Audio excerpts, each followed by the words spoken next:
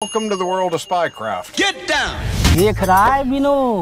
प्रधान जी गुस्सा दिखा रहे हैं। हेलो दोस्तों and welcome to my channel Geeky Ray और इस वीडियो में मैं दो न्यू सीरीज़ का रिव्यू करने वाला हूँ जिनमें से एक है जियो सिनेमा पर रिलीज़ हुई वियतनाम वॉर के इवेंट्स पर based spy drama series the sympathizer और दूसरा है हमारा सबसे एंटिसिपेटेड सीरीज़ ऑफ़ 2024 पंचायत का सीज़न थ्री तो फ्रेंड्स बिना किसी देरी के वीडियो को शुरू करते हैं। पहले द सिंपथाइजर की बात करते हैं फ्रेंड्स इस शो की शुरुआत में हम एक नैरेटर को देखते हैं जो एक जेल में कैद है और उसे अपनी खुद की स्टोरी लिखने के लिए कहा जाता है। और ये नैरेटर ही इस सीरीज़ का मेन कैरेक्टर है, जिसे पूरी सीरीज़ में हम कैप्टन के नाम से जानते हैं। इसकी स्टोरी वियतनाम वॉर के आखिरी दिनों में सेट है, जहाँ communist party supported north Vietnam और अमेरिका सपोर्टेड साउथ वियतनाम के बीच में वॉर हुआ था। और ये स्टोरी उसी वॉर के बीचों बीच एक स्पाई की कहानी दिखाती है, जो एक कम्युनिस्ट स्पाई है और वो साउथ वियतनाम आर्मी यानी अमेरिका की साइड में एक मोल बनकर छुपा हुआ है। और वो साउथ वियतनाम आर्मी के टॉप लेवल के लोगों के इन्फॉर्मेशन लेकर नॉर्थ वियतनाम को सप्लाई करता है। लेकिन साउथ वियतनाम के फॉल के बाद उसे रिलक्टेंटली साउथ वियतनाम के लोगों के साथ ही अमेरिका जाना पड़ता है और वहाँ भी उसे एक स्पाई का काम करना पड़ता है। कैप्टन को अपनी सीक्रेट आइडेंटिटी छुपाने के लिए कुछ बहुत ही भयानक काम भी करने पड़ते हैं, जिससे उसके दिमाग के ऊपर इफ़ेक्ट पड़ता है और वो अपने आप को, अपने लॉयलिटी को क्वेश्चन करने लग जाता है। और इसी के साथ इस शो में हम कैप्टन की दोस्ती की कहानी भी देखते हैं, जहाँ उसका एक दोस्त, जिसका नाम है बॉन जो जनरल की आर्मी का एक लॉयल मेंबर है और सारे कम्युनिस्ट से नफरत करता है। और दूसरा है मन जो कैप्टन का ही कम्युनिस्ट हैंडलर है और कम्युनिस्ट पार्टी के लिए काम करता है। तो कैप्टन के बचपन के दो दोस्त, दो अलग आइडियोलॉजी को बिलोंग करते हैं। और इस सीरीज़ में क्या कैप्टन आखिर तक अपनी सीक्रेट आइडेंटिटी छुपा कर रख पाता है? क्या इस रेवोल्यूशनरी का मकसद आखिर तक पूरा होता है? और कैप्टन अपने देश, जिसके लिए उसने इतनी सारी सैक्रिफाइसेस की है और इतने भयानक काम किए हैं, वहाँ लौट पाता है? ये आपको इस लिमिटेड सीरीज़ में देखना होगा। अब सीरीज़ की रिव्यू की बात करते हैं। द सिंपथाइजर एक seven episode spy drama mini series है, जिसे south Korean director Park Chan Wook ने डायरेक्ट किया है और ये सीरीज़ एक पुलिट्सर प्राइज विनिंग नॉवेल के ऊपर बेस्ड है। तो ये सीरीज़ मुझे बहुत ही यूनिक लगी और इसकी स्टोरी भी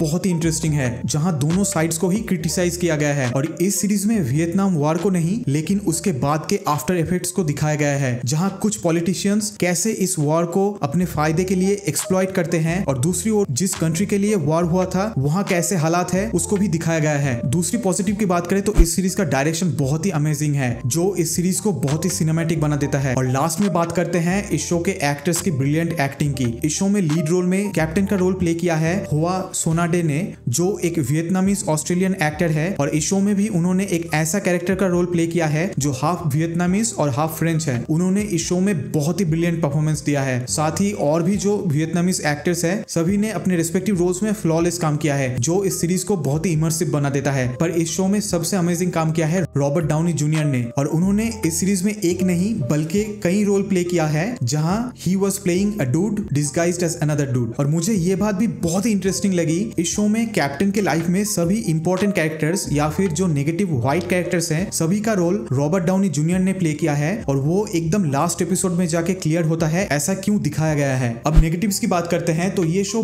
बहुत ही स्लो है, और मिडिल के एपिसोड्स काफ़ी ड्रैग करते हैं, और इसका प्लॉट भी थोड़ा कॉम्प्लेक्स है, और इसकी एंडिंग भी मुझे इतनी फुलफिलिंग नहीं लगी। और हाँ फ्रेंड्स एच के मोस्ट शोज़ की तरह ये भी एकदम मैच्योर ऑडियंसेस के लिए है। ओवरऑल द सिंपथाइजर एक ग्रिपिंग और thought provoking spy drama series है, जो वियतनाम वॉर को एकदम अलग तरीके से दिखाती है। हाँ अगर आप एक action packed spy thriller expect कर रहे हो तो ये शो बिल्कुल मत देखना। पर अगर आप एक slow paced story driven espionage thriller देखना चाहते हो with strong writing and brilliant performances तो ये शो आपके लिए है। और मैं इसे 7.5 आउट ऑफ़ 10 की रेटिंग दूँगा, और 50 से 55 मिनट के 7 एपिसोड के साथ द सिंपथाइजर को आप जियो सिनेमा पर देख सकते हो। देख रहा है बिनो प्रधान जी गुस्सा दिखा रहे हैं। और फ्रेंड्स अब पंचायत के सीज़न थ्री की बात करते हैं। तो फ्रेंड्स आई एम श्योर इस रिव्यू से पहले ही आपने ये सीज़न बिंज कर लिया होगा। और अगर आपने अभी तक ये सीज़न नहीं देखी है then don't wait for anything else and just watch it ये सीज़न भी पंचायत के पहले दो सीज़न की तरह ही बहुत ही ब्रिलियंट है बहुत ही फनी और इमोशनल भी है। इस सीज़न की स्टोरी भी सीज़न टू के एंड से ही शुरू होता है जहाँ विधायक की वजह से पंचायत के सचिव अभिषेक त्रिपाठी का ट्रांसफ़र हो गया है। और अब नए सचिव ज्वाइनिंग के लिए आए हैं। और गाँव में अभी भी विधायक की वजह से माहौल एकदम गर्म है और प्रधान जी के हर बात पर भूषण पॉलिटिक्स कर रहा है, क्योंकि सामने ही फुलेरा पंचायत इलेक्शन भी है और इस बार प्रधान मंजू देवी के अगेंस्ट भूषण की वाइफ क्रांति देवी खड़ी हुई है। और दूसरी तरफ़ स्टोरी में सचिव जी और रिंकिया की स्टोरी भी इस बार थोड़ी आगे बढ़ती है। फ्रेंड्स पंचायत का सीज़न थ्री भी